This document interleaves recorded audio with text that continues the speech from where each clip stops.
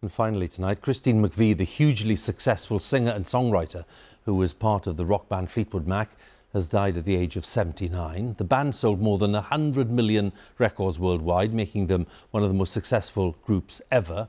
Uh, Christine McVie was born in Cumbria, spent most of her life in the US. Our correspondent David Sillito looks back at her life.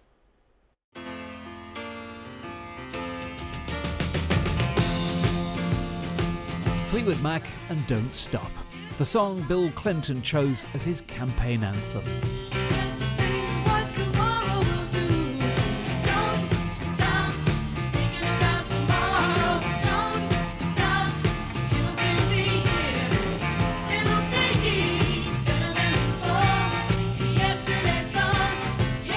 And the songwriter, Christine McVie.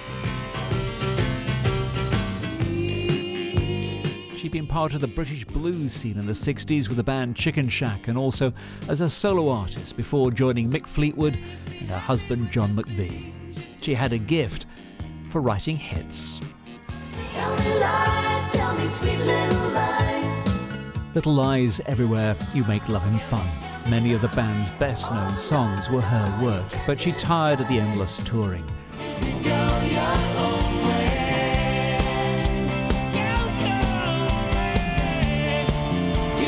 There was a long break, but she rejoined the band in 2014. And I love you, I love you, I love you like never before. Fleetwood Mac has had many ups and downs, but their success owed much to the songwriting skill of Christine McVie. In a statement, the band said, We were so lucky to have a life with her.